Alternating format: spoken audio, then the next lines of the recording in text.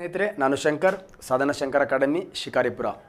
So, ಸ್ನೇಹಿತರೆ, ನಿಮಗೆ ಬಲ, ಗುರುತ್ವ ಬಲದ ಬಗ್ಗೆ ಸಂಪೂರ್ಣವಾಗಿರ್ತಕ್ಕಂತಹ ಎಲ್ಲ ವಿಡಿಯೋಗಳನ್ನು ಬಿಟ್ಟಿದ್ದೀನಿ. ಸೊ, ಆ ವಿಡಿಯೋಗಳನ್ನು ಎಷ್ಟು ಪ್ರಮಾಣದಲ್ಲಿ ನೀವು ಅರ್ಥ ಮಾಡ್ಕೊಂಡಿದ್ದೀರಿ ಅನ್ನೋದಕ್ಕೆ ಒಂದು ಮೌಲ್ಯಮಾಪನ ಅಂತಕ್ಕಂಥ ಮತ್ತೊಂದು ಹತ್ತು ಪ್ರಶ್ನೆಗಳನ್ನು ಇಟ್ಕೊಂಡು ಅದರ ಸುತ್ತಲೂ ಒಂದು ಸತಿ ನಾವು ದಟ್ ಈಸ್ ರಿಫ್ರೆಶ್ ಮಾಡೋಣ ಅಂತ ಈ ಗುರುತ್ವ ಬಲದ ಹತ್ತು ಪ್ರಶ್ನೆಗಳನ್ನು ನಾನು ನಿಮ್ಮ ಜೊತೆಗೆ ಚರ್ಚೆ ಮಾಡ್ತೀನಿ ಸ್ನೇಹಿತರೆ. ಸೊ ಕಂಪ್ಲೀಟ್ ಆ, ಬಲ ಮತ್ತು ಗುರುತ್ವ ಬಲದ ವಿಡಿಯೋಗಳನ್ನು ನೋಡಿ, ಈ ಹತ್ತು ಪ್ರಶ್ನೆಗಳನ್ನು ನಾನು ಹಾಕ್ಕೊಂಡಿದ್ದೀನಿ. ಈ ಚರ್ಚೆಯಲ್ಲೂ ಕೂಡ ನೀವು ಭಾಗವಹಿಸಿ. ಇದರ ಆಚೆಗೆ ಮತ್ತೆ ನಿಮಗೆ ಡೌಟ್ ಇತ್ತು ಅಂದರೆ ಪ್ರಶ್ನೆಗಳನ್ನು ಕಾಮೆಂಟ್ ಮಾಡಿ ಸ್ನೇಹಿತರೆ. ಆ, ಹಾಕಿರ್ತಕ್ಕಂಥ ಪ್ರಶ್ನೆಗಳನ್ನು ಮತ್ತೆ ನಾನು ನಿಮ್ಮ ಜೊತೆಗೆ ಚರ್ಚೆ ಮಾಡ್ತೀನಿ. ಹಾಗಾಗಿ ಗ್ರಾವಿಟಿ ಅಂತಕ್ಕಂಥ ಒಂದು ಕಾನ್ಸೆಪ್ಟನ್ನು ಕಂಪ್ಲೀಟ್ ನಾನು ನಿಮ್ಮ ಜೊತೆಗೆ ಕೊಡಲಿಕ್ಕೆ ಇಷ್ಟಪಡ್ತೀನಿ ಸ್ನೇಹಿತರೆ. So next one of the very very important ನೀವು ಕಾಮೆಂಟ್ಸ್ ಮಾಡಿದಿರಿ ಸರ್ ನನ್ನ ಭಾರತ, ನನ್ನ ವಿಜ್ಞಾನ, ನನ್ನ ಸಂಸ್ಕೃತಿ ಯಾವತ್ತು? ಅಂತ ಹೇಳಿದಿರಿ.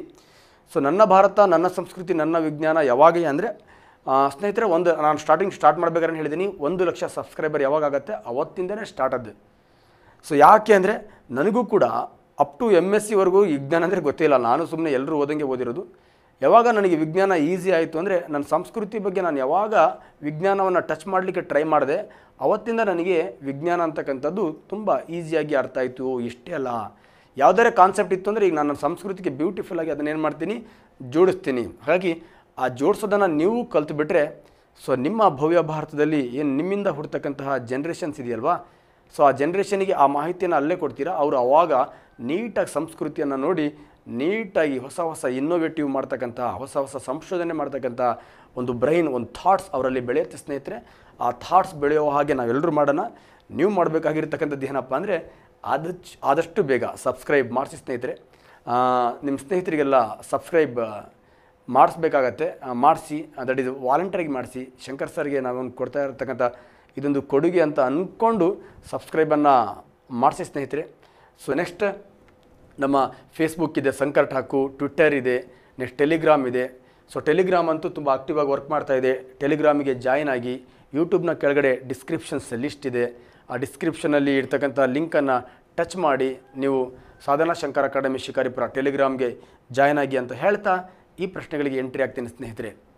ಸೊ ಆಲ್ರೆಡಿ ನಾನು ಬಲ ಅಂದರೆ ಏನು ಅಂತ ಹೇಳಿದ್ದೀನಿ ಬಲ ಅಂದರೆ ಏನಿಲ್ಲ, ಒಂದು ಕಾಯದ ಚಲನೆಯ ಸ್ಥಿತಿ ಅಥವಾ ನಿಶ್ಚಲ ಸ್ಥಿತಿ ವೇಗ ಇದೆಯಲ್ವಾ? ಇವುಗಳನ್ನು ಬದಲಾವಣೆ ಮಾಡ್ತಕ್ಕಂಥ ಒಂದು ಭೌತ ಪರಿಮಾಣಕ್ಕೆ ನಾವೇನಂತ ಕರಿತೀವಿ? ಬಲ ಅಂತ ಕರಿತೀವಿ. ಹಾಗಾದರೆ ನಾವು ಬಲವನ್ನು ಹಾಕಿದಾಗ ಅಂದರೆ ಒಂದು ವಸ್ತುವಿನ ಸ್ಥಿತಿಯನ್ನು ಚಲನೆಯ ಸ್ಥಿತಿಯನ್ನು ಸ್ಟಾಪ್ ಮಾಡಬೇಕು. ನಿಶ್ಚಲ ಸ್ಥಿತಿಯನ್ನು ಚಲನ ಸ್ಥಿತಿಗೆ ತರಬೇಕು ಅಂದರೆ ಒಂದು ದಿಕ್ಕಿನ ಕಡೆಗೆ ನಾವು ಬಲವನ್ನು ಪ್ರಯೋಗ ಮಾಡಬೇಕಾಗತ್ತೆ. ಹಾಗಾಗಿ ಬಲ ಅನ್ನೋದಕ್ಕೆ ದಿಕ್ಕೂ ಇದೆ ಮತ್ತು ಎಷ್ಟು ಪ್ರಮಾಣದಲ್ಲಿ ಅದಕ್ಕೆ ಪರಿಮಾಣನೂ ಇರೋದ್ರಿಂದ ಇದು ಒಂದು ಸದಿಶ ಪರಿಣಾಮ ಆಗಿದೆ. ನಮ್ಮ ಬಲ ಅಂತಕ್ಕಂಥದ್ದು ಒಂದು ಸದಿಶ ಪರಿಣಾಮ. ಸೊ ಇದು ದಟ್ ಈಸ್ ಪ್ರಾರಂಭದಲ್ಲಿ ಇದನ್ನು ಡೈನ ಮೂಲಕ ಅಳಿತಾ ಇದ್ರು, ಅದರ ನಂತರ ಇದನ್ನು ನ್ಯೂಟನ್ನ ಮೂಲಕ ಅಳಿತಾ ಇದ್ವಿ. ಸೊ ನೆಕ್ಸ್ಟ್ ಈ ಬಲಗಳಲ್ಲಿ ಮೂಲಭೂತವಾಗಿ ನಾಲ್ಕು ಬಲಗಳಿವೆ. ಆ ನಾಲ್ಕು ಬಲಗಳನ್ನು ನಾನಿಲ್ಲಿ ಹಾಕ್ಕೊಂಡಿದ್ದೀನಿ. ಒಂದು ಪ್ರಬಲ ನ್ಯೂಕ್ಲಿಯ ಬಲ, ದುರ್ಬಲ ನ್ಯೂಕ್ಲಿಯ ಬಲ, ವಿದ್ಯುತ್ ಕಾಂತಿಯ ಬಲ, ಗುರುತ್ವ ಬಲ ಅಂತಕ್ಕಂಥ. ಸೊ ಸ್ನೇಹಿತರೆ, ಈ ನಾಲ್ಕು ಬಲಗಳಲ್ಲಿ ಅತ್ಯಂತ ಪ್ರಬಲ ಬಲ ಯಾವುದು ಅಂದರೆ ಹೆಸರೇ ಇದೆ, ಪ್ರಬಲ ನ್ಯೂಕ್ಲಿಯ ಬಲ. ಎರಡನೇ ಪ್ರಬಲ ಯಾವುದು ಅಂದರೆ ವಿದ್ಯುತ್ ಕಾಂತೀಯ ಬಲ. ಮೂರನೇ ಸ್ಥಾನದಲ್ಲಿ ಯಾವುದಿದೆ ಅಂದರೆ ದುರ್ಬಲ ನ್ಯೂಕ್ಲಿಯ ಬಲ. ಅತ್ಯಂತ ವೀಕೆಸ್ಟ್ ಫೋರ್ಸ್ ಯಾವುದು ಅಂದರೆ ದಟ್ ಇಸ್ ದ ಗುರುತ್ವ ಬಲ. ಅತ್ಯಂತ ದುರ್ಬಲ ಬಲ ಯಾವುದು ಅಂದರೆ ಗುರುತ್ವ ಬಲ. ಬಟ್ ಈ ಕಾನ್ಸೆಪ್ಟ್ ನಾನೇನು ಪ್ರಶ್ನೆಯಲ್ಲಿ ಹಾಕ್ಕೊಂಡಿಲ್ಲ ಇಲ್ಲಿ. ಅತ್ಯಂತ ಹಿರಿದಾದ ವ್ಯಾಪ್ತಿಯನ್ನು ಹೊಂದಿರುವ ಬಲ. ಸೊ ಸ್ನೇಹಿತರೆ, ಅತ್ಯಂತ ಹಿರಿದಾದ ವ್ಯಾಪ್ತಿ ಅಂದರೆ ಹೆಚ್ಚು ಪ್ರಸಾರ ಆಗ್ತಕ್ಕಂಥದ್ದು, ಹೆಚ್ಚು ದೂರಕ್ಕೆ ಹರಡಿಕೊಂಡಿರ್ತಕ್ಕಂಥದ್ದು ಅಂತ. ಸೊ ಸಿಂಪಲ್ ನಮ್ಮದೇನು ಯೂನಿವರ್ಸ್ ಅಂತ ಹೇಳ್ತೀವಿ, ಏನು ಜಗತ್ತು ಅಂತ ಹೇಳ್ತೀವಿ ಕೊನೆ ಇಲ್ಲದ್ದು ಇನ್ಫಿನಿಟಿ ಅಂತ ಕರಿತೀವಿ. ಇಡೀ ಜಗತ್ತು ಯಾವ ಬಲದ ಮೇಲೆ ನಿಂತಿದೆ ಅಂದರೆ ಗುರುತ್ವ ಬಲದ ಮೇಲೆ ನಿಂತಿದೆ. ಹಾಗಾಗಿ ಇಡೀ ಜಗತ್ತನ್ನು ಆವರಿಸ್ಕೊಂಡಿರೋದ್ರಿಂದ ಅತ್ಯಂತ ಹಿರಿದಾದ ವ್ಯಾಪ್ತಿಯನ್ನು ಹೊಂದಿರತಕ್ಕಂಥ ಬಲ ಯಾವುದು? Option D is right answer ಅತ್ಯಂತ ಕಿರಿದಾದ ವ್ಯಾಪ್ತಿಯನ್ನು ಹೊಂದಿರತಕ್ಕಂಥ ಬಲ ಯಾವುದು ಅಂತ ಕೇಳಿದ್ರೆ that is option A is right answer ಇದು short range A option that is long range that is the gravitational force ಮತ್ತು ಮಧ್ಯ ಹೇಳಿದ ಅವೇನು ಸರ್ ಅದು?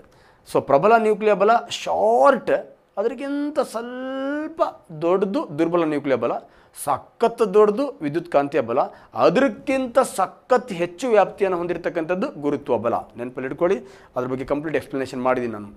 ಎರಡು ಸಾವಿರದ ಹದಿನೇಳರ ಭೌತಶಾಸ್ತ್ರದ ನೋಬೆಲ್ ಪಾರಿತೋಷಕ ಈ ಕೆಳಕಂಡ ಯಾವ ವಿಷಯಕ್ಕೆ ಸಿಕ್ಕಿತು? ಸೊ ಗೊತ್ತು ನಿಮಗೆ, ಎರಡು ಸಾವಿರದ ಹದಿನೇಳು ಮೀನ್ಸ್ ಸೊ ಪ್ರಾರಂಭದಲ್ಲಿ ಗುರುತ್ವ ಅಂತಕ್ಕಂಥದ್ದು ವಸ್ತುಗಳನ್ನು ಭೂಮಿಯಿಂದ ವಸ್ತು ಬೀಳದಂತೆ ತಡೆಯುವ ಬಲ ನಮ್ಮ ಆರ್ಯಭಟ. ಸೊ ನೆಕ್ಸ್ಟ್ ಭೂಮಿ ವಸ್ತುಗಳನ್ನು ಆಕರ್ಷಣೆ ಮಾಡುವ ಬಲ. ಎರಡು ರಾಶಿಯನ್ನು ಹೊಂದಿರತಕ್ಕಂತಹ ವಸ್ತುಗಳು ಒಂದನ್ನೊಂದು ಆಕರ್ಷಣೆ ಮಾಡುವ ಬಲ, ನ್ಯೂಟನ್. ಸೊ ನೆಕ್ಸ್ಟ್ ನಮ್ಮ ಆಧುನಿಕ ಭೌತಶಾಸ್ತ್ರದ ಪಿತಾಮಹ ಐನ್ಸ್ಟೀನ್ ಗುರುತ್ವ ಅಂತಕ್ಕಂಥದ್ದು ಒಂದು ಅಲೆಗಳ ರೂಪದಲ್ಲಿ ಇದೆ ಅಂತ ಹೇಳ್ದ. ಹಾಗಾದ್ರೆ ಗುರುತ್ವ ಅನ್ನೋದು ಅಲೆಗಳ ರೂಪದಲ್ಲಿ ಹೇಗಿದೆ ಅನ್ನೋದನ್ನು ಪರೀಕ್ಷೆ ಮಾಡಲಿಕ್ಕೆ ಅಮೆರಿಕ ಒಂದು ಟೀಮನ್ನು ರೆಡಿ ಮಾಡ್ತು. That team is LIGO LIGO ಅಂದರೆ laser interferometer gravitational wave observatory ಈ ಟೀಮ್ ಅದನ್ನು ಆ ಗುರುತ್ವ ಅಂತಕ್ಕಂಥದ್ದು ಅಲೆಗಳ ರೂಪದಲ್ಲಿ ಇದೆ ಎಂಬುದನ್ನು ಪರೀಕ್ಷೆ ಮಾಡ್ತಾ ಮಾಡ್ತಾ ಮಾಡ್ತಾ ಬಂದು ಎರಡು ಸಾವಿರದ ಹದಿನೇಳರಲ್ಲಿ ಸಕ್ಸಸ್ ಆಯಿತು. ಸಕ್ಸಸ್ ಆಗಿದ್ದಕ್ಕೆ ದಟ್ ಈಸ್ ಎರಡು ಸಾವಿರದ ಹದಿನೇಳರ ಭೌತಶಾಸ್ತ್ರದ ನೋಬೆಲ್ ಪಾರಿತೋಷಕ ಈ ಲೈಗೋಟ್ ಟೀಮಿಗೆ ಕೊಡತ್ತೆ. ಈ ಲೈಗೋಟ್ ಟೀಮ್ ಯಾವುದರ ಬಗ್ಗೆ ಅಧ್ಯಯನ ಮಾಡುತ್ತೆ? ಗುರುತ್ವ ಅಲೆಗಳ ರೂಪದಲ್ಲಿ ಅಧ್ಯಯನ ಮಾಡುತ್ತೆ. ಹಾಗಾಗಿ which is the right answer D is the right answer ಗುರುತ್ವ ಎಂಬುದು ಅಲೆಗಳ ರೂಪದಲ್ಲಿ ಇದೆ ಎಂಬುದನ್ನು ಲೈಗೋ ಟೀಮ್ ಅಧ್ಯಯನ ಮಾಡುತ್ತೆ. ಲೈಗೋ ಟೀಮ್ ಅಧ್ಯಯನ ಮಾಡೋದಕ್ಕೆ ಎರಡು ಸಾವಿರದ ಹದಿನೇಳರಲ್ಲಿ ಲೈಗೋ ಟೀಮಲ್ಲಿ ಪ್ರಮುಖವಾಗಿ ಕಾರ್ಯವನ್ನು ನಿರ್ವಹಿಸಿರ್ತಕ್ಕಂಥ ಮೂರು ಜನಕ್ಕೆ ನೊಬೆಲ್ ಪಾರಿತೋಷಿಕವನ್ನು ಸಿಗ್ತಾರೆ, ಕೊಡ್ತಾರೆ. ಆ ಮೂರು ಜನನ ಹೇಗೆ ನೆನ್ಪಿಟ್ಕೊಳ್ಬೇಕು ಅನ್ನೋದನ್ನು ಕೂಡ ನಾನು ಹೇಳಿದ್ದೀನಿ. ಮಳೆ, ರೈನರ್. ನೆಕ್ಸ್ಟ್ ಹಿಂದಿಯಲ್ಲಿ ಮಳೆ, ಬಾರಿಶ್. ಸೊ ನೆಕ್ಸ್ಟ್ ಹೆಂಗೆ ಬೀಳ್ತಾ ಇದೆ? ದಪ ದಪ ಥ್ರೋ ಆಗ್ತಾ ಇದೆ ಥ್ರೋನೆ ರೈನರ್, ಬಾರಿಶ್ ಥ್ರೋನೆ ಈ ಮೂರು ಜನಕ್ಕೆ ಎರಡು ಸಾವಿರದ ಹದಿನೇಳರ ಭೌತಶಾಸ್ತ್ರದ ನೊಬೆಲ್ ಪಾರಿತೋಷಿಕ ಸಿಗತ್ತೆ ಸ್ನೇಹಿತರೆ. ಯಾವುದಕ್ಕೆ ಅಂದರೆ ಗುರುತ್ವ ಅಲೆಗಳ ರೂಪದಲ್ಲಿ ಇದೆ ಎಂಬುದನ್ನು ಸಾಧಿಸಿ ತೋರಿಸಿದ್ದಕ್ಕೆ. ನೆಕ್ಸ್ಟ್ ವಿಶ್ವವ್ಯಾಪಿ ಗುರುತ್ವ ಸ್ಥಿರಾಂಕ ಕಂಡುಹಿಡಿದ ವಿಜ್ಞಾನಿ ಯಾರು? ಸೊ ಸಿಂಪಲ್ ವಿಶ್ವವ್ಯಾಪಿ ಅಂದರೆ ಇಡೀ ವಿಶ್ವಕ್ಕೆ ಸಂಬಂಧಪಟ್ಟಂತಹ. ಏನು ಸರ್ ವಿಶ್ವ? ವಿಶ್ವದಲ್ಲಿ ನಮಗೆ ಗ್ರಹಗಳಿದೆ, ಉಪಗ್ರಹಗಳಿದೆ, ಗ್ಯಾಲಕ್ಸಿಗಳಿವೆ, ಉಲ್ಕೆಗಳಿವೆ, ಇವೆಲ್ಲವೂ ಇದೆ. ಎಸ್ ಸೊ ಇವೆಲ್ಲವೂ ದಟ್ ಈಸ್ ಎಷ್ಟಿದೆ ಅಂದರೆ ದಟ್ ಈಸ್ ಅನ್ಕೌಂಟಬಲ್ ಅಷ್ಟು ಇದೆ. ಹಾಗೆ ಇವುಗಳನ್ನು ನಾವು ಏನಂತ ಕನ್ಸಿಡರ್ ಮಾಡ್ತೀವಿ ಅಂದರೆ ವಿಶ್ವದಲ್ಲಿರುವ ಸಣ್ಣ ಸಣ್ಣ ಕಣಗಳು. ಸೊ ಸಿಂಪಲ್ ವಿಶ್ವದಲ್ಲಿರುವ ಪ್ರತಿಯೊಂದು ಸಣ್ಣ ಸಣ್ಣ ಕಣಗಳು ಒಂದನ್ನೊಂದು ಆಕರ್ಷಣೆ ಮಾಡುತ್ತದೆ. ಆ ಕಣಗಳ ಆಕರ್ಷಣೆಯು, ಆ ಕಣಗಳ ರಾಶಿಯ ಗುಣಲಬ್ಧಕ್ಕೆ, ನೇರ ಅನುಪಾತದಲ್ಲಿಯೂ, ಅವುಗಳ ನಡುವಿನ ದೂರದ ವರ್ಗಕ್ಕೆ ವಿಲೋಮ ಅನುಪಾತದಲ್ಲಿದೆ ಎಂಬುದನ್ನು ನಮ್ಮ ಗುರುತ್ವ ನಿಯಮವನ್ನು ಹೇಳಿರ್ತಕ್ಕಂಥ ವಿಜ್ಞಾನಿ ಯಾರಪ್ಪ ಅಂದರೆ that is Newton so next ಗುರುತ್ವ ಅಂತಕ್ಕಂಥದ್ದು ಅಲೆಗಳ ರೂಪದಲ್ಲಿ ಇದೆ ಎಂದು ಮಾಹಿತಿಯನ್ನು ಕೊಟ್ಟಂತಹ ವಿಜ್ಞಾನಿ ಐನ್ಸ್ಟೀನ್. ಇಲ್ಲಿ ನ್ಯೂಟನ್, ಪ್ರಾಚೀನ ಭೌತಶಾಸ್ತ್ರದ ಪಿತಾಮಹ, ಐನ್ಸ್ಟೀನ್, ಆಧುನಿಕ ಭೌತಶಾಸ್ತ್ರದ ಪಿತಾಮಹ ಸ್ನೇಹಿತರೆ. ನೆಕ್ಸ್ಟ್ ಗ್ರಹಗಳ ಚಲನೆಯ ನಿಯಮವನ್ನು ಮಂಡಿಸಿದ ವಿಜ್ಞಾನಿ ಯಾರಪ್ಪ ಅಂದರೆ ಕೆಪ್ಲರ್. ಈಗ ಉಳ್ಕೊಂಡಿರೋದಿಲ್ಲಿ ಕ್ಯಾವೆಂಡಿಸ್. ಈ ಕ್ಯಾವೆಂಡಿಸ್ ವಿಶ್ವ ಗುರುತ್ವ ಸ್ಥಿರಾಂಕವನ್ನು ಕಂಡುಹಿಡ್ತಾನೆ ಸೊ ಕ್ಯಾವೆಂಡಿಶ್ ವಿಶ್ವ ಗುರುತ್ವ ಸ್ಥಿರಾಂಕವನ್ನು ಕಂಡುಹಿಡಿದು ಅದರದೊಂದು ಮೌಲ್ಯವನ್ನು ಕೊಡ್ತಾನೆ. ಆ ಮೌಲ್ಯ six point six seven four or six seven three into twenty four of minus eleven N M square per K G square ಇದು ನಮ್ಮ ಸರ್ ಹೆನ್ರಿ ಕ್ಯಾವೆಂಡಿಸ್ ಕೊಟ್ಟಿರ್ತಕ್ಕಂತಹ ವಿಶ್ವ ಗುರುತ್ವ ಸ್ಥಿರಾಂಕ. ಈ ಸ್ಥಿರಾಂಕವನ್ನು ಕಂಡುಹಿಡಲಿಕ್ಕೆ ನಮ್ಮ ಕ್ಯಾವೆಂಡಿಶ್ ಯೂಸ್ ಮಾಡಿರ್ತಕ್ಕಂಥ device that is sensitive balance ಸೂಕ್ಷ್ಮ ತ್ರಾಸು. ಹಾಗಾದರೆ ಸೂಕ್ಷ್ಮ ತ್ರಾಸು ಆರ್ ಸೆನ್ಸಿಟಿವ್ ಬ್ಯಾಲೆನ್ಸನ್ನು ಬಳಸಿ sir Henry Cavendish that is ವಿಶ್ವ ಗುರುತ್ವ ಸ್ಥಿರಾಂಕ ಅಂದರೆ ಕ್ಯಾಪಿಟಲ್ ಜಿ. ಕ್ಯಾಪಿಟಲ್ ಜಿಯನ್ನು ಕಂಡುಹಿಡಿತಾನೆ ಕ್ಯಾಪಿಟಲ್ ಜಿ ಏನು? ಎಲ್ಲ. ನಾನಲ್ಲಿ ನಿಮಗೆ ನೀಟಾಗಿ ಚರ್ಚೆ ಮಾಡಿದ್ದೀನಿ ಸ್ನೇಹಿತರೆ. ಸೊ ಈ ಪ್ರಶ್ನೆಗೆ C is right answer next ಇಲ್ಲಿ ನೋಡಿ ಸೂತ್ರ. So small G capital G mass of earth divided by that is R square ಈ ಸೂತ್ರವು ಸೊ ಸ್ನೇಹಿತರೆ, ಏನು? ಗುರುತ್ವ ನಿಯಮದ ಸೂತ್ರವಾಗಿದೆ. ಗುರುತ್ವ ನಿಯಮದ ಸೂತ್ರ ಒಂದ್ಸತಿ ರಿಕಾಲ್ ಮಾಡ್ಕೊಳ್ಳಿ. ಎಫ್ ಇಕ್ವಲ್ಸ್ ಗುರುತ್ವ ಬಲ ಅಂತಕ್ಕಂಥದ್ದು. F equals that is capital G M one M two ಅಂದರೆ ಆ ವಸ್ತುಗಳ ರಾಶಿಗೆ ನೇರ ಅನುಪಾತದಲ್ಲಿಯೂ ಡಿವೈಡೆಡ್ ಬೈ ಡಿ ಸ್ಕ್ವಯರ್ ಇದು ಗುರುತ್ವ ಬಲದ ಸೂತ್ರ. ಹಾಗಾದ್ರೆ ಇದು ಯಾವ ಸೂತ್ರ? ಭೂಮಿಯ ಮೇಲ್ಮೈ ಗುರುತ್ವದ ಸೂತ್ರ. ಹಾಗಾದ್ರೆ ಭೂಮಿಯ ಮೇಲ್ಮೈ ಗುರುತ್ವ ಅಂತಕ್ಕಂಥದ್ದು ಏನಾಗ್ತಾ ಇರುತ್ತೆ? ಸ್ಥಳದಿಂದ ಸ್ಥಳಕ್ಕೆ ಸ್ಥಳದಿಂದ ಸ್ಥಳಕ್ಕೆ ಏನಾಗ್ತಾ ಇರುತ್ತೆ? ಬದಲಾವಣೆ ಆಗ್ತಾ ಇರುತ್ತೆ. ಆ ಬದಲಾವಣೆ ಆಗ್ತಾ ಇರತಕ್ಕಂಥ ಗುರುತ್ವಕ್ಕೆ ನಾವೇನಂತ ಕರಿತೀವಿ? ಗುರುತ್ವ ವೇಗೋತ್ಕರ್ಷ ಅಂತ ಕರಿತೀವಿ. ವೇಗೋತ್ಕರ್ಷ ಅಂದರೆ ಹೆಚ್ಚು ಮತ್ತು ಕಡಿಮೆ ಆಗೋದು. ಹಾಗಾದ್ರೆ ಗುರುತ್ವ ವೇಗೋತ್ಕರ್ಷದ ಸೂತ್ರ ಯಾವುದು ಅಂತ ಕೇಳಿದ್ರೆ that is G small G small G ಅಂದರೆ ಬದಲಾಗುತ್ತಿರುವ ಗುರುತ್ವ. ಕ್ಯಾಪಿಟಲ್ ಜಿ ಅಂದರೆ ಎಂದಿಗೂ ಬದಲಾಗದ ಗುರುತ್ವ. ಕ್ಯಾಪಿಟಲ್ ಜಿಯನ್ನು ಕೊಟ್ಟಕ್ಕಂತಹ ಕ್ಯಾಪಿಟಲ್ ಜಿಯನ್ನು ಕೊಟ್ಟಂತಹ ಸೊ ವಿಜ್ಞಾನಿ ಯಾರಪ್ಪ ಅಂದರೆ that is sir Henry Cavendish small ಜಿಯನ್ನು ಎಲ್ಲ ಪ್ರೂವ್ ಮಾಡಿರ್ತಕ್ಕಂಥ ವಿಜ್ಞಾನಿ ಯಾರಪ್ಪ ಅಂದರೆ ದಟ್ ಇಸ್ ದ ನ್ಯೂಟನ್ ಹಾಗಾಗಿ ಸ್ಮಾಲ್ ಜಿ ಅಂತಕ್ಕಂಥದ್ದು ಬದಲಾವಣೆ ಆಗುತ್ತಿರುವ ಗುರು, ಗುರುತ್ವ ಕ್ಯಾಪಿಟಲ್ ಜಿ ಅಂತಕ್ಕಂಥದ್ದು ಎಂದಿಗೂ ಬದಲಾವಣೆ ಆಗದೇ ಇರತಕ್ಕಂತಹ ಗುರುತ್ವ. ಹಾಗಾಗಿ, ಭೂಮಿಯ ಮೇಲ್ಮೈ ಗುರುತ್ವ ಬದಲಾವಣೆ ಆಗ್ತಾ ಇರೋದ್ರಿಂದ ಸ್ಮಾಲ್ ಜಿ ಇಕ್ವಲ್ಸ್ ಭೂಮಿಯ ಕೇಂದ್ರದಿಂದ ಅದರ ಮೇಲ್ಮೈಗೆ ಇರ್ತಕ್ಕಂತಹ ದೂರ that is R square next ಭೂಮಿಯ ರಾಶಿ. ಹಾಗಾದರೆ ಭೂಮಿಯ ರಾಶಿ ಸೊ ಸಿಂಪಲ್ ಬದಲಾವಣೆ ಆಗುತ್ತಿರುವ ಗುರುತ್ವ ಸ್ಮಾಲ್ ಜಿ ಬದಲಾವಣೆ ಆಗದೇ ಇರತಕ್ಕಂಥ ಗುರುತ್ವ ಕ್ಯಾಪಿಟಲ್ ಜಿ ಭೂಮಿಯ ರಾಶಿ, ಯಾಕಂದರೆ ಗುರುತ್ವ ಅಂತಕ್ಕಂಥದ್ದು ರಾಶಿ ಜಾಸ್ತಿ ಆದ ಹಾಗೆ ಗುರುತ್ವನೂ ಕೂಡ ಏನಾಗ್ತಾ ಇರುತ್ತೆ? ಜಾಸ್ತಿ ಆಗುತ್ತೆ. ನೆಕ್ಸ್ಟ್ ಡಿವೈಡೆಡ್ ಬೈ ಭೂಮಿಯ ಕೇಂದ್ರದಿಂದ ಭೂಮಿಯ ಮೇಲ್ಮೈವರೆಗೂ ಇರತಕ್ಕಂಥ distance radius that is the R square ಹಾಗಾಗಿ ಭೂಮಿಯ ಮೇಲ್ಮೈ ಗುರುತ್ವದ ಸೂತ್ರ ಈ ಸೂತ್ರ ಆಗಿದೆ ಸ್ನೇಹಿತರೆ. ಇನ್ನೊಂದು ಜೀನ ವ್ಯತ್ಯಾಸದ ಸೂತ್ರ. ಆದರೆ ಜೀನ ವ್ಯತ್ಯಾಸದ ಸೂತ್ರ ಏನಿಲ್ಲ. ಜೀನ ವ್ಯತ್ಯಾಸದಲ್ಲೂ ಕೂಡ ಸ್ಮಾಲ್ ಜಿ ಸ್ಮಾಲ್ ಜಿನೇ ಇರುತ್ತೆ. ಕ್ಯಾಪಿಟಲ್ ಜಿ, ಕ್ಯಾಪಿಟಲ್ ಜಿನೇ ಇರುತ್ತೆ. ಭೂಮಿಯ ರಾಶಿ, ರಾಶಿನೇ ಇರುತ್ತೆ. Divided by R square R square ಇದೆಯಲ್ವಾ? ಅದು ಭೂಮಿಯ ಕೇಂದ್ರದಿಂದ ಭೂಮಿಯ ಮೇಲ್ಮೈವರೆಗೂ ಇರತಕ್ಕಂಥ ತ್ರಿಜ್ಯ. ಆದರೆ ಭೂಮಿಯ ಮೇಲ್ಮೈಯಿಂದ ವಸ್ತು ಎತ್ತರದಲ್ಲಿದ್ದಾಗ that is R plus H square R plus H that is whole square that ಇದು ಜೀನ ವ್ಯತ್ಯಾಸದ ಸೂತ್ರವಾಗಿದೆ ಸ್ನೇಹಿತರೆ. ಜೀನ ವ್ಯತ್ಯಾಸವನ್ನು ನಾವು ರಾಕೆಟ್ ಅವುಗಳನ್ನು ಲಾಂಚ್ ಮಾಡಬೇಕಾದ್ರೆ ಯೂಸ್ ಮಾಡ್ತೀವಿ. ನೆಕ್ಸ್ಟ್ ಗ್ರಹಗಳ ಚಲನೆಯ ನಿಯಮವನ್ನು ಕೊಟ್ಟಂಥ ವಿಜ್ಞಾನಿ, ದಟ್ ಈಸ್ ಕ್ಯಾಪ್ಲರ್ ಹಾಗಾದರೆ ಈ ಪ್ರಶ್ನೆಗೆ answer, B is right answer ಸ್ನೇಹಿತರೆ. ನೆಕ್ಸ್ಟ್, ಒಬ್ಬ ವ್ಯಕ್ತಿಯ ತೂಕ ಚಂದ್ರಗ್ರಹದ ಮೇಲೆ ಏಳು ಕೆ ಜಿ ಇದ್ದರೆ ಭೂಮಿಯ ಮೇಲೆ ಎಷ್ಟು ಕೆ ಜಿ ಇರುತ್ತದೆ? ಸೊ ಆಲ್ರೆಡಿ ಹೇಳಿದ್ದೀನಿ ನಾನು, ಭೂಮಿಯ ರಾಶಿ ದೊಡ್ಡದಿದೆ, ಚಂದ್ರನ ರಾಶಿ ಕಡಿಮೆ ಇದೆ. ಹಾಗಾಗಿ ರಾಶಿ ಜಾಸ್ತಿ ಆದ ಹಾಗೆ ತೂಕ ಅಂತಕ್ಕಂಥದ್ದು ಕೂಡ ಏನಾಗ್ತಾ ಇರುತ್ತೆ? ಜಾಸ್ತಿ ಆಗತ್ತೆ. ಹಾಗಾಗಿ ಭೂಮಿ ಮತ್ತು ಚಂದ್ರನನ್ನು ಹೋಲಿಕೆ ಮಾಡಿದಾಗ ಅವೆರಡರ ಕಾಯಗಳ ನಡುವೆ ತೂಕದ ವ್ಯತ್ಯಾಸ ಎಷ್ಟಿರುತ್ತೆ ಅಂದರೆ ಒನ್ ಬೈ ಸಿಕ್ಸ್ ಇರುತ್ತೆ ಅಂತ ಸ್ನೇಹಿತರೆ. ಹಾಗಾದರೆ ಭೂಮಿಯಲ್ಲಿ ಎಷ್ಟಿರುತ್ತೋ ಅದರ ಒನ್ ಬೈ ಸಿಕ್ಸ್ ಯಾವುದರಲ್ಲಿರುತ್ತೆ? ಚಂದ್ರದಲ್ಲಿ ಇರುತ್ತೆ ಅಂತ. ಸೊ ಎಕ್ಸಾಂಪಲ್ ನಮ್ಮ ಭೂಮಿಯಲ್ಲಿ ಚಂದ್ರನ ಮೇಲೆ ಒಂದು ವಸ್ತು ಏಳು ಕೆ ಜಿ ಇದ್ದರೆ ಭೂಮಿಯಲ್ಲಿ ಎಷ್ಟು ಕೆ ಜಿ ಇರುತ್ತೆ ಅಂದರೆ? ಸೊ ಸಿಂಪಲ್ ಒಬ್ಬ ವ್ಯಕ್ತಿ ಚಂದ್ರನ ಮೇಲೆ ಏಳು ಕೆ ಜಿ ಇತ್ತು ಅಂದರೆ ಸೊ ಅದು ಏಳು ಕೆ ಜಿ ಅದನ್ನು ಎಷ್ಟು ಪಟ್ಟು ಹೆಚ್ಚಿಗೆ ಮಾಡಬೇಕು ನಾವು? ಆರು ಪಟ್ಟು ಹೆಚ್ಚಿಗೆ ಮಾಡಬೇಕು. ಅವಾಗ ಏಳು ಇಂಟು ಆರು ಏಳು ಆರಲೆ ನಲವತ್ತೆರಡು ಕೆ ಜಿ ಇರ್ತಾನೆ ಸ್ನೇಹಿತರೆ. ಹಾಗಾಗಿ ಭೂಮಿ ಮೇಲೆ ಎಷ್ಟು ಕೆ ಜಿ ಇರ್ತಾನೆ ನಲವತ್ತೆರಡು ಕೆ ಜಿ ಸೊ ಅವನು ಚಂದ್ರನ ಮೇಲೆ ಎಷ್ಟು ಇರ್ತಾನೆ ಏಳು ಕೆ ಜಿ ಅವರ ಎಕ್ಸಾಮಲ್ಲಿ ಭೂಮಿ ಮೇಲೆ ಎಷ್ಟಿದ್ದು, ಚಂದ್ರನ ಮೇಲೆ ಎಷ್ಟು ಅಂತಂದರೆ ಏನಿಲ್ಲ. ಭೂಮಿ ಮೇಲೆ ಎಷ್ಟು ಅಂತ ಕೊಟ್ಟಿರ್ತಾನೆ ಅದನ್ನು ಡಿವೈಡೆಡ್ ಬೈ ಸಿಕ್ಸ್ ಮಾಡಿಬಿಟ್ರೆ ಚಂದ್ರನ ಮೇಲೆ ಎಷ್ಟು ಅಂತ ಸಿಗತ್ತೆ. ಚಂದ್ರನ ಮೇಲೆ ಕೊಟ್ಟು ಭೂಮಿ ಮೇಲೆ ಕೇಳಿಬಿಟ್ರೆ ಚಂದ್ರನಲ್ಲಿ ಎಷ್ಟಿದೆ? ಅದನ್ನು ಇಂಟು ಸಿಕ್ಸ್ ಮಾಡಿಬಿಟ್ರೆ ಭೂಮಿ ಮೇಲೆ ಸಿಗುತ್ತೆ ಅಷ್ಟೇ. ಇಸ್ ಸಣ್ಣ ಲಾಜಿಕ್ ಚಂದ್ರನ ಮೇಲೆ ಕೊಟ್ಟಾಗ ಇಂಟು ಸಿಕ್ಸ್ ಮಾಡಿದರೆ ಭೂಮಿ ಮೇಲಿನ ತೂಕ ಸಿಗತ್ತೆ. ನೆಕ್ಸ್ಟ್ ಭೂಮಿ ಮೇಲೆ ಇಷ್ಟು ಕೆ ಜಿ ಇದ್ದಾಗ ಚಂದ್ರನ ಮೇಲೆ ಎಷ್ಟು ಅಂತ ಕೇಳಿದಾಗ ಭೂಮಿ ಮೇಲೆ ಎಷ್ಟು ಕೆ ಜಿ ಇದೆ, ಅದನ್ನು ಡಿವೈಡೆಡ್ ಬೈ ಸಿಕ್ಸ್ ಮಾಡಿಬಿಟ್ರೆ ಚಂದ್ರನ ಮೇಲೆ ಸಿಗುತ್ತೆ ಸ್ನೇಹಿತರೆ. ಸೊ ಸಿಂಪಲ್ ನೀವೇ ಈಗ ಲೆಕ್ಕ ಮಾಡ್ಕೋಬೋದು.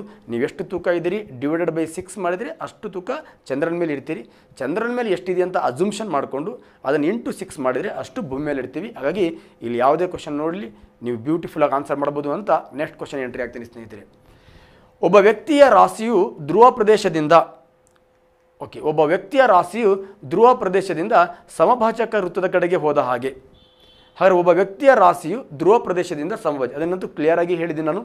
ಭೂಮಿಗೆ ಜಿಯರ್ಡ್ ಆಕಾರ ಇರೋದರಿಂದ, ಭೂಮಿಯ ಸೆಂಟರಲ್ಲಿ ಕೇಂದ್ರದಿಂದ ನಾವು ಭೂಮಿಯ ಮೇಲ್ಮೈಗೆ ತ್ರಿಜ್ಯವನ್ನು ಎಳೆದಾಗ ಸಮಭಾಜಕ ವೃತ್ತದಲ್ಲಿ ತ್ರಿಜ್ಯ ಏನಾಗಿರುತ್ತೆ? ಜಾಸ್ತಿ ಇರುತ್ತೆ. ಧ್ರುವ ಪ್ರದೇಶದಲ್ಲಿ ತ್ರಿಜ್ಯ ಏನಾಗಿರುತ್ತೆ? ಕಡಿಮೆ ಇರುತ್ತೆ.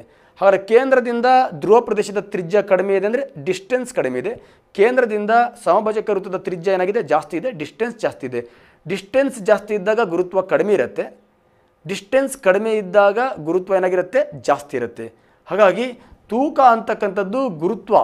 ತೂಕದ ಮೇಲೆ ಗುರುತ್ವ ಅಂತಕ್ಕಂಥದ್ದು ಪ್ರಭಾವ ಬೀರೋದ್ರಿಂದ ಭೂಮಿಯ ಕೇಂದ್ರದಿಂದ ಸಮಭಾಜಕ ವೃತ್ತದ ಕಡೆಗೆ ಹೋದಾಗ, ಸೊ ವೃತ್ತದ ಮೇಲ್ಮೈಯಲ್ಲಿದ್ದಾಗ ಒಬ್ಬ ವ್ಯಕ್ತಿಯ ತೂಕ ಕಡಿಮೆ ಇರುತ್ತೆ. ಅವನು ಸಮಭಾಜಕ ವೃತ್ತದಿಂದ ಧ್ರುವ ಪ್ರದೇಶ ಕಡೆ ಬಂದಾಗ ಅವನ ತೂಕದಲ್ಲಿ ಏನಾಗುತ್ತೆ? ಹೆಚ್ಚಿಗೆ ಆಗುತ್ತೆ. ಅಂದರೆ ಜೀರೋ ಪಾಯಿಂಟ್ ಫೈವ್ ಪರ್ಸೆಂಟೇಜ್ ಹೆಚ್ಚಿಗೆ ಆಗುತ್ತೆ. ಯಾಕೆ ಹೆಚ್ಚಿಗೆ ಆಗುತ್ತೆ ಅಂದರೆ ಗುರುತ್ವ ಅಂತಕ್ಕಂಥದ್ದು ಹೆಚ್ಚಿಗೆ ಆಗ್ತಾ ಆಗ್ತಾ ಆಗ್ತಾ ಬರುತ್ತೆ. ಹಾಗಾಗಿ ಹೆಚ್ಚಿಗೆ ಆಗುತ್ತೆ. ತೂಕ ತೂಕ. ಹಾಗಾದರೆ ಇಲ್ಲಿ ಏನು ಆಪ್ಷನ್ ನೋಡಿದಾಗ ಸ್ವಲ್ಪ ನೋಡಬೇಕು. ಒಬ್ಬ ವ್ಯಕ್ತಿಯ ತೂಕ ಅಂತ ಕೇಳಿದ್ರೆ ಧ್ರುವ ಪ್ರದೇಶದಿಂದ ಸಮಭಾಜಕ ವೃತ್ತದ ಕಡೆಗೆ ಹೋದ ಹಾಗೆ ಅಂದರೆ ಕಡಿಮೆ ಆಗುತ್ತದೆ.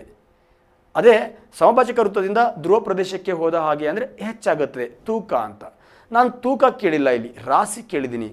ಹಾಗಾದರೆ ಒಂದು ರಾಶಿ ರಾಶಿ ಅಂದರೆ ಒಂದು ವಸ್ತುವಿನಲ್ಲಿರ್ತಕ್ಕಂಥ ಅಣುಗಳ ಮೊತ್ತ ದಡ ಜಡತ್ವದ ಮೊತ್ತ ಇದೆಯಲ್ವಾ? ಅದಕ್ಕೆ ರಾಶಿ. ಹಾಗಾದರೆ ಜಡತ್ವ ಅಂತಕ್ಕಂಥದ್ದು ನಮ್ಮ ಗುರುತ್ವಕ್ಕೆ ಅವಲಂಬನೆ ಆಗಿರಲ್ಲ.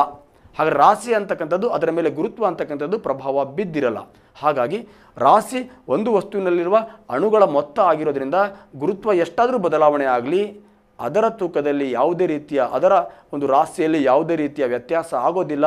ಹಾಗಾಗಿ ಚಂದ್ರಗ್ರಹದ ಮೇಲೂ ಅದೇ ರಾಶಿ, ಭೂಮಿಯ ಮೇಲೂ ಅದೇ ರಾಶಿ, ನಮ್ಮ ವಿಶ್ವದಲ್ಲಿ ಎಲ್ಲಿ ಲೆಕ್ಕ ಮಾಡಿದ್ರೂ ಅದೇ ರಾಶಿ ಇದ್ದ ಮೇಲೆ ನಮ್ಮ ಭೂಮಿ ಮೇಲೆ ಎತ್ತಲಾಗ ಹೋದ್ರೂ ಕೂಡ ರಾಶಿ ಏನಾಗಿರುತ್ತೆ? ಸ್ಥಿರವಾಗಿರುತ್ತೆ. That is C is right answer ಅಂತ ಹೇಳ್ತಾ, ರಾಶಿ ಮಾತ್ರ ಎಂದಿಗೂ ಕೂಡ ಎಲ್ಲಿಗೆ ಹೋದ್ರೂ ಕೂಡ ಬದಲಾವಣೆ ಆಗೋದಿಲ್ಲ. ತೂಕ ಬದಲಾವಣೆ ಆಗತ್ತೆ.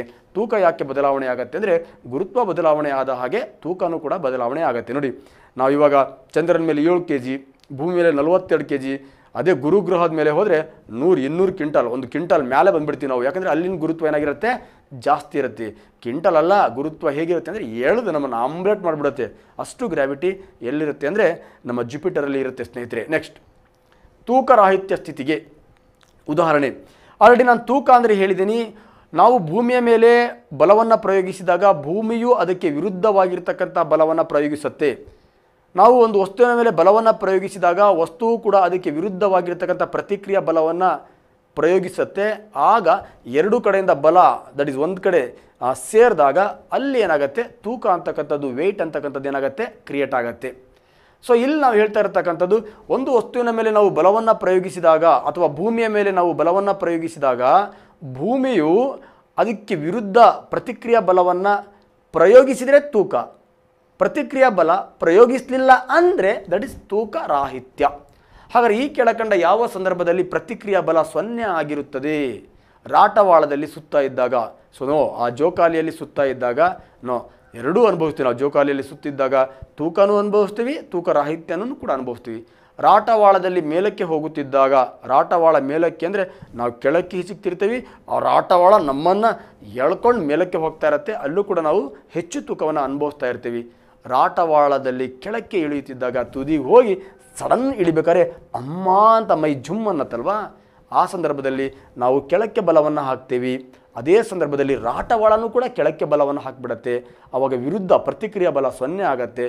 ಪ್ರತಿಕ್ರಿಯಾ ಬಲ ಸೊನ್ನೆ ಯಾವತ್ತು ಆಗತ್ತೋ ಅವಾಗ ಆ ಸ್ಥಿತಿಗೆ ನಾವೇನಂತ ಕರಿತೀವಿ, ತೂಕರಾಹಿತ್ಯ ಸ್ಥಿತಿ ಅಂತ ಕರಿತೀವಿ. ಹಾಗಾಗಿ which is the right answer that is C is the right answer ಸ್ನೇಹಿತರೆ, ಲಿಫ್ಟ್ನಿಂದ ಕೆಳಕ್ಕೆ ಇಳಿಯುತ್ತಿದ್ದಾಗ ನೋ ಲಿಫ್ಟ್ನಿಂದ ಕೆಳಕ್ಕೆ ಇಳಿಯುತ್ತಿದ್ದಾಗ ತೂಕ ಇರುತ್ತೆ, ಆದರೆ ಸ್ವಲ್ಪ ತೂಕ ಏನಾಗ್ತಾ ಇರುತ್ತೆ? ಕಡಿಮೆ ಇರುತ್ತೆ. ಅದೇ ನಿರಾಂತಕವಾಗಿ ಬೀಳುತ್ತಿರುವ ಲಿಫ್ಟ್ ಅಂತ ಕೇಳಿದ್ರೆ ದಟ್ ಇಸ್ ದ ತೂಕರಾಹಿತ್ಯ. ಹಾಗಾಗಿ ಸಿ ಇಸ್ ರೈಟ್ ಆನ್ಸರ್ ಅಂತ ಹೇಳ್ತಾ ನೆಕ್ಸ್ಟ್ ಜೀನ ವ್ಯತ್ಯಾಸ ಎಂದರೆ? ಆಲ್ರೆಡಿ ಅಲ್ಲಿ ದಟ್ ಇಸ್ ಫಾರ್ಮುಲಾ ಹೇಳಬೇಕಾದ್ರೆ ಹೇಳಿದ್ದೀನಿ ಒಂದು ವಸ್ತು ಭೂಮಿಯ ಮೇಲ್ಮೈಯಲ್ಲಿದ್ದಾಗ ನೋ, ಒಂದು ವಸ್ತು ಭೂಮಿಯ ಮೇಲ್ಮೈಯಿಂದ ಎತ್ತರದಲ್ಲಿದ್ದಾಗ, ಅದಕ್ಕೆ ಆರ್ ಪ್ಲಸ್ ಎತ್ತರ H that is whole square ಅಂತ ತಗೊಳ್ತೀವಿ ನಾವು. ಹಾಗಾಗಿ ಒಂದು ವಸ್ತು ಭೂಮಿಯ ಮೇಲ್ಮೈಯಿಂದ ಎತ್ತರದಲ್ಲಿದ್ದಾಗ ನಾವೇನೋ ಲೆಕ್ಕ ಮಾಡ್ತೀವಿ? ಜೀನ ವ್ಯತ್ಯಾಸನ ಲೆಕ್ಕ ಮಾಡ್ತೀವಿ ಸ್ನೇಹಿತರೆ. ಸೊ ನೆಕ್ಸ್ಟ್ ಭೂಮಿಯ ಮೇಲ್ಮೈ ಸರಾಸರಿ ಗುರುತ್ವ. ಸೊ ಆಲ್ರೆಡಿ ನಾವು ಆಲ್ರೆಡಿ ಹೇಳಿದ್ದೀನಿ ನಾನು ಸಮಭಾಜಕ ವೃತ್ತದ ಮೇಲೆ ನೈನ್ ಪಾಯಿಂಟ್ ಸೆವೆನ್ ಏಯ್ಟ್ ಗುರುತ್ವ ಇರುತ್ತೆ. ಧ್ರುವ ಪ್ರದೇಶದ ಮೇಲೆ ನೈನ್ ಪಾಯಿಂಟ್ ಏಯ್ಟ್ ತ್ರೀ ಅಂದರೆ ಮೀಟರ್ ಪರ್ ಸೆಕೆಂಡ್ ಗುರುತ್ವ ಇರುತ್ತೆ. ಸೊ ಕಂಪ್ಲೀಟ್ ಇಡೀ ಭೂಮಿಯನ್ನು ನಾವು ಸೊ ಬದಲಾವಣೆ ಆಗ್ತಾ ಇರತಕ್ಕಂಥ ಗುರುತ್ವಗಳನ್ನು ಒಂದು ಕಡೆ ಲೆಕ್ಕ ಮಾಡಿ, ಅದರ ಆವರೇಜನ್ನು ತೆಗೆದ್ರೆ, ಹಾಗಾದರೆ ನಮಗೆ ಏನು ವ್ಯಾಲ್ಯೂ ಸಿಗುತ್ತೆ ಅಂದರೆ ನೈನ್ ಪಾಯಿಂಟ್ ಏಯ್ಟ್ ಸೊ ಸ್ನೇಹಿತರೆ one of the very very important nine point eight metre per second metre per second ಸ್ಕ್ವೇರಾ confuse ಮಾಡ್ಕೋಬೇಡಿ. ಮೀಟರ್ ಪರ್ ಸೆಕೆಂಡ್ ಹಾಕಬೇಕು ಅಂದರೆ ಇಡೀ ಭೂಮಿಯ ಮೇಲೆ ಗುರುತ್ವ ನೈನ್ ಪಾಯಿಂಟ್ ಏಯ್ಟ್ ಮಾತ್ರ ಇದ್ದರೆ ಮಾತ್ರ ಮೀಟರ್ ಪರ್ ಸೆಕೆಂಡ್ ಹರಿ, ಇಡೀ ಭೂಮಿಯ ಮೇಲೆ ಗುರುತ್ವ ನೈನ್ ಪಾಯಿಂಟ್ ಏಯ್ಟ್ ಇಲ್ಲ. ಇಡೀ ಭೂಮಿಯ ಮೇಲೆ ಗುರುತ್ವ ಏನಾಗ್ತಾ ಇದೆ? ಸ್ಥಳದಿಂದ ಸ್ಥಳಕ್ಕೆ ಸ್ಥಳದಿಂದ ಸ್ಥಳಕ್ಕೆ ಏನಾಗ್ತಾ ಇರೋದೆ? ಬದಲಾವಣೆ ಆಗ್ತಾ ಇದೆ. ಹೆಚ್ಚಿಗೆ ಆಗ್ಬೋದು, ಕಡಿಮೆ ಆಗ್ಬೋದು. ಹೆಚ್ಚಿಗೆ ಆಗ್ಬೋದು, ಕಡಿಮೆ ಆಗ್ಬೋದು. ಹಾಗಾದರೆ ಗುರುತ್ವದಲ್ಲಿ ಹೆಚ್ಚು ಕಡಿಮೆ ಆಗೋದಕ್ಕೆ ಏನಂತ ಕರಿತೀವಿ? ಗುರುತ್ವ ವೇಗೋತ್ಕರ್ಷ ಅಂತ ಕರಿತೀವಿ. ಕಡಿಮೆ ಆದಾಗ ಒಂದು ಟೈಮು ಹೆಚ್ಚಿಗೆ ಆದಾಗ ಒಂದು ಟೈಮ್ ಹಾಗಾಗಿ ಎರಡು ಟೈಮ್ ಬರೋದ್ರಿಂದ ಇಲ್ಲಿ ಎರಡು ಸೆಕೆಂಡನ್ನು ತಗೊಳ್ತೀವಿ. ದಟ್ ಈಸ್ ಸೆಕೆಂಡ್ ಸ್ಕ್ವಯರ್ ಹಾಗಾಗಿ ಬದಲಾವಣೆ ಆಗುತ್ತಿರುವ ವೇಗ, ವೇಗೋತ್ಕರ್ಷ ಇರಲಿ, ಬದಲಾವಣೆ ಆಗುತ್ತಿರುವ ಗುರುತ್ವ ಈ ವೇಗೋತ್ಕರ್ಷ ಅನ್ನೋ ವರ್ಡ್ ಬಂತು ಅಂದರೆ ಅಲ್ಲಿ ಯಾವತ್ತೂ ಕೂಡ ಸ್ಕ್ವಯರ್ ಬರುತ್ತೆ. ಹಾಗಾಗಿ that is nine point eight metre per second square B is right answer ಸ್ನೇಹಿತರೆ ನೆಕ್ಸ್ಟ್ ಸಿ ಅದು ವಿಮೋಚನಾ ವೇಗ ಇದೆಯಲ್ವಾ? ವಿಮೋಚನಾ ವೇಗದ ಒಂದು ಸ್ಪೀಡ್ ಆಗಿರುತ್ತೆ. ಒಂದು ಭೂಮಿಯ ಗುರುತ್ವವನ್ನು ಸೀಳಿಕೊಂಡು ದಾಟಿ ಹೋಗಲು ಒಂದು ಕಾಯಕ್ಕೆ ಕೊಡಬೇಕಾಗಿರ್ತಕ್ಕಂಥ ಕನಿಷ್ಠ ಆರಂಭಿಕ ವೇಗ ಒಂದು ಸೆಕೆಂಡ್ಗೆ ಹನ್ನೊಂದು ಪಾಯಿಂಟ್ ಎರಡು ದಟ್ ಇಸ್ ಕಿಲೋಮೀಟರ್ ಮೀಟರ್ ಆಗಿದೆ. ಕಿಲೋಮೀಟರ್ ಕೊಡಬೇಕಾಗತ್ತೆ. ಸೊ ಬಿಡಿ, ಅದು ಕೂಡ ರಾಂಗ್ ಇದೆ. Which is the right answer B is the right answer ಅಂತ ಹೇಳ್ತಾ. ಸೊ ಸ್ನೇಹಿತರೆ that is last top ten question ಸೂರ್ಯನ ರಾಶಿಯನ್ನು ಲೆಕ್ಕ ಹಾಕಲು ಬಳಸುವ ಕೆಪ್ಲರ್ನ ನಿಯಮ. ಸೊ ಸಿಂಪಲ್ ನಮ್ಮ ಭೂ ಕೇಂದ್ರಿತ ಸಿದ್ಧಾಂತನ ಟಾಲಮಿ ಕೊಡ್ತಾನೆ. ಸೂರ್ಯ ಕೇಂದ್ರಿತ ಸಿದ್ಧಾಂತವನ್ನು ಕೊಪರ್ನಿಕಸ್ ಕೊಡ್ತಾನೆ. ನೆಕ್ಸ್ಟ್ ಆ ಸೂರ್ಯನ ಸುತ್ತ ಗ್ರಹಗಳ ಚಲನೆಯ ವೀಕ್ಷಣೆಯ ಮಾಹಿತಿಯನ್ನು ಟೈಕೋ ಬ್ರಾಹೆ ಕೊಡ್ತಾನೆ. ಆ ಟೈಕ್ರೋ ಬ್ರಾಹೆಯ ಆ ಆ ಗ್ರಹಗಳ ಚಲನೆಯ ವೀಕ್ಷಣೆ ಮಾಹಿತಿಯನ್ನು ತಗೊಂಡು ಕೆಪ್ಲರ್ ಗ್ರಹಗಳ ನಿಯಮವನ್ನು ಏನು ಮಾಡ್ತಾನೆ? ಮಂಡನೆ ಮಾಡ್ತಾನೆ. ಒಂದನೇ ನಿಯಮದಲ್ಲಿ ಗ್ರಹಗಳು ಸೂರ್ಯನ ಸುತ್ತ ಗ್ರಹಗಳು ಎಲಪ್ಸಿಯ ಆಕಾರದಲ್ಲಿ ಸುತ್ತುತ್ತವೆ. ಎರಡನೇ ನಿಯಮದಲ್ಲಿ ಸೂರ್ಯನ ಸುತ್ತ ಗ್ರಹಗಳು ಸಮಾನ ಕಾಲವನ್ನು, ಸಮಾನ ಕ್ಷೇತ್ರವನ್ನು, ಸಮಾನ ಕಾಲದಲ್ಲಿ ಕ್ರಮಿಸುವಂತೆ ಸುತ್ತುತ್ತದೆ. ಮೂರನೇ ನಿಯಮದಲ್ಲಿ ಸೊ ಸಿಂಪಲ್, ಸೂರ್ಯನಿಂದ ಗ್ರಹಕ್ಕೆ ಎಳೆದ ದೂರದ ಘನವು ಅದರ ಪರಿಭ್ರಮಣ ಅವಧಿಯ ವರ್ಗಕ್ಕೆ ಸಮಾನ, ಅಂದರೆ ನೇರ ಅನುಪಾತದಲ್ಲಿರುತ್ತೆ ಅಂತ ಹೇಳ್ತಾನೆ. ಸೊ ಸಿಂಪಲ್, ಆ ಮೂರನೇ ನಿಯಮವನ್ನು ಬಳಸ್ಕೊಂಡು ಸೂರ್ಯನ ರಾಶಿ ಲೆಕ್ಕ ಮಾಡ್ಬೋದು, ಗ್ರಹಗಳ ರಾಶಿ ಲೆಕ್ಕ ಮಾಡ್ಬೋದು. ಸೂರ್ಯನಿಂದ ಗ್ರಹಗಳು ಎಷ್ಟು ದೂರದಲ್ಲಿದ್ದಾವೆ, ಯಾವ ವೇಗದಲ್ಲಿ ತಿರುಗ್ತಾ ಇದೆ, ಅವನ್ನೆಲ್ಲ ಲೆಕ್ಕ ಮಾಡಲಿಕ್ಕೆ ಮೂರನೇ ನಿಯಮ ತುಂಬ ಸಹಾಯವನ್ನು ಮಾಡುತ್ತೆ. ಹಾಗಾಗಿ ಸೂರ್ಯನ ರಾಶಿಯನ್ನು ಲೆಕ್ಕ ಹಾಕಲು ಬಳಸುವ ಕೆಪ್ಲರ್ನ ನಿಯಮ ಯಾವುದಪ್ಪ ಅಂದರೆ ದಟ್ ಇಸ್ ಮೂರನೇ ನಿಯಮ. ಸೊ ಹಾಗಾಗಿ one of the very very important ಮೂರನೇ ನಿಯಮ, ರಾಶಿಯನ್ನು ಲೆಕ್ಕ ಹಾಕಿದರೆ ಎರಡನೇ ನಿಯಮ ದಟ್ ಕ್ಷೇತ್ರ ಮತ್ತು ಕಾಲವನ್ನು ಲೆಕ್ಕ ಹಾಕತ್ತೆ. ನೆಕ್ಸ್ಟ್ ಒಂದನೇ ನಿಯಮ, ಯಾವ ಆಕಾರದಲ್ಲಿ ಸುತ್ತತ್ತೆ ಅನ್ನೋದನ್ನು ಲೆಕ್ಕ ಹಾಕತ್ತೆ ಸ್ನೇಹಿತರೆ. ಇದು ನಾನು ಗುರುತ್ವದ ಬಗ್ಗೆ ಕಂಪ್ಲೀಟ್ ಎಕ್ಸ್ಪ್ಲನೇಷನ್ ಮಾಡಿ ಮತ್ತೆ ಇವ್ಯಾಲ್ಯೂಯೇಷನ್ ಪಾರ್ಟಾಗಿ ಇರಲಿ ನಿಮಗೆ ಗುರುತ್ವ ಅನ್ನೋದು ಇಷ್ಟೇನಾ ಅಂತ ಒಂದು ಫೀಲ್ ಬರಲಿ ಅಂತಕ್ಕಂತಹ ಮಾಹಿತಿಯನ್ನು ಒಳಗೊಂಡಿರ್ತಕ್ಕಂಥ ಹತ್ತು ಪ್ರಶ್ನೆಯನ್ನು ತಗೊಂಡು ನಾನು ನಿಮ್ಮ ಜೊತೆಗೆ ಮೌಲ್ಯಮಾಪನವನ್ನು ಮಾಡಿದ್ದೀನಿ. ನೀವು ಎಷ್ಟು ಪ್ರಶ್ನೆಗಳಿಗೆ ಉತ್ತರ ಗೊತ್ತಿತ್ತು ನೆಕ್ಸ್ಟ್ ಎಷ್ಟು ಪ್ರಶ್ನೆಗಳನ್ನು ನಾನು ಇವತ್ತು ಕ್ಲಿಯರ್ ಕಟ್ ಆಗಿದ್ದೀನಿ, ಅವೆಲ್ಲ ಕಾಮೆಂಟ್ ಮಾಡಿ ಸ್ನೇಹಿತರೆ. ಮತ್ತೆ ಎಷ್ಟು ಪ್ರಶ್ನೆಗಳಿಗೆ ಗೊಂದಲ ಇದೆ, ಆ ಗೊಂದಲನೂ ಕೂಡ ಕಾಮೆಂಟಲ್ಲಿ ನೀವು ಫೀಡ್ ಮಾಡಿ, ಆ ಪ್ರಶ್ನೆಗಳನ್ನು ಮತ್ತೆ ದಟ್ ಈಸ್ ಹತ್ತು ಪ್ರಶ್ನೆಗಳನ್ನು ಹಾಕ್ಕೊಂಡು ನಾನು ನಿಮ್ಮ ಜೊತೆಗೆ ಚರ್ಚೆ ಮಾಡ್ತೀನಿ. ಮತ್ತೆ ಮರಿಬೇಡಿ. ಸೊ ದಟ್ ಈಸ್ ಸಬ್ಸ್ಕ್ರೈಬ್ ಮಾಡಿಸಿ ಶೇರ್ ಮಾಡಿಸಿ maximum sub subscribe and share ಮಾಡಿಸಿ. ನೀವು ಸಬ್ಸ್ಕ್ರೈಬ್ ಆ್ಯಂಡ್ ಶೇರ್ ರೇಟ್ ಎಲ್ಲರೇ ಒಂದು ಐದಾರು ದಿವಸದಲ್ಲಿ ಇನ್ನೂ ಜಾಸ್ತಿ ಮಾಡಿದ್ದೇ ಆದರೆ ದಿನಕ್ಕೆ ಎರಡು ವಿಡಿಯೋ ಬಿಡ್ತೀನಿ ಸ್ನೇಹಿತರೆ. ನೀವು ಸಬ್ಸ್ಕ್ರೈಬ್ ರೇಟ್ ನನಗೆ ಜಾಸ್ತಿ ಇತ್ತು ಅಂದರೆ. ಸೊ ಅದೇ ರೇಟಲ್ಲಿ ನಾನು ದಿನಕ್ಕೆ ಒಂದು ವಿಡಿಯೋ ಎರಡು ವಿಡಿಯೋ ಬಿಡ್ತಿದ್ದೀನಿ ಅಂದರೆ ಸಬ್ಸ್ಕ್ರೈಬ್ ರೇಟ್ ಜಾಸ್ತಿ ಆಗ್ತಿದೆ ಅಂತ ಅರ್ಥ. ನಾನು ವಿಡಿಯೋನ ಲೇಟ್ ಮಾಡ್ತಿದ್ದೀನಿ ಅಂದರೆ ಸಬ್ಸ್ಕ್ರೈಬ್ ರೇಟ್ ಕಡಿಮೆ ಆಗ್ತಿದೆ ಅಂತ ಅರ್ಥ. ಇದು ನಮ್ಮ ನಿಮ್ಮ ನಡುವಿನ ಹೃದಯದ ಮಾತು ಅಂತ ಹೇಳ್ತಾ ಎಲ್ರಿಗೂ ವಂದನೆಗಳು. ಎಲ್ಲರೂ ಮನೆಯಲ್ಲೇ ಹಬ್ಬವನ್ನು ಆಚರಣೆ ಮಾಡಿ, ಮನೆಯಿಂದ ಯಾರೂ ಕೂಡ ದಯವಿಟ್ಟು ಹೊರಗಡೆ ಬರಬೇಡಿ. ಸ್ವಲ್ಪ ಏಕಾಂಗಿಯಾಗಿ ಕೇಳಿರಿ ಇಂಟ್ರಾಸ್ಪೆಕ್ಷನ್ ಮಾಡಿ. ಇಷ್ಟು ದಿನ ಬರೀ ಬಾಹ್ಯ ಪ್ರಪಂಚದ ಬಗ್ಗೆ ಯೋಚನೆ ಮಾಡ್ತಾ ಇದ್ರಿ. ಇವತ್ತು ಬಾಹ್ಯ ಪ್ರಪಂಚವನ್ನು ಗೆಲ್ಲಿಕ್ಕೆ ಹೊಟ್ಟಿರ್ತಕ್ಕಂಥ ತನ್ನ ಹೃದಯದ ಒಳಗಡೆ ಇರ್ತಕ್ಕಂಥ ಪ್ರಪಂಚದ ಬಗ್ಗೆ ಆತ್ಮ ವಿಮರ್ಶೆಗಳನ್ನು ಮಾಡ್ಕೊಳ್ಳಿ. ಇಷ್ಟು ದಿನ ಏನು ತಪ್ಪುಗಳನ್ನು, ಮುಂದೆ ಏನು ತಪ್ಪುಗಳನ್ನು ಮಾಡಬಾರ್ದು, ಗೆಲ್ಲೋದು ಹೇಗೆ ಅಂತಕ್ಕಂಥ ಒಂದು ಬ್ಯೂಟಿಫುಲ್ ಪ್ಲ್ಯಾನಿಂಗನ್ನು ಒಂದು ಐದಾರು ದಿವಸ ಮನೆಯಲ್ಲಿ ಕೂತ್ಕೊಂಡು ರೆಡಿ ಮಾಡ್ಕೊಳ್ಳಿ ಅಂತ ಹೇಳ್ತಾ ನಿಮ್ಮೆಲ್ಲರ ಏಳಿಗೆಗಾಗಿ ಇರ್ತಕ್ಕಂಥದ್ದೇ ಸಾಧನಾ ಶಂಕರ್ ಅಕಾಡೆಮಿ ಶಿಕಾರಿಪುರ ನಮಸ್ಕಾರ.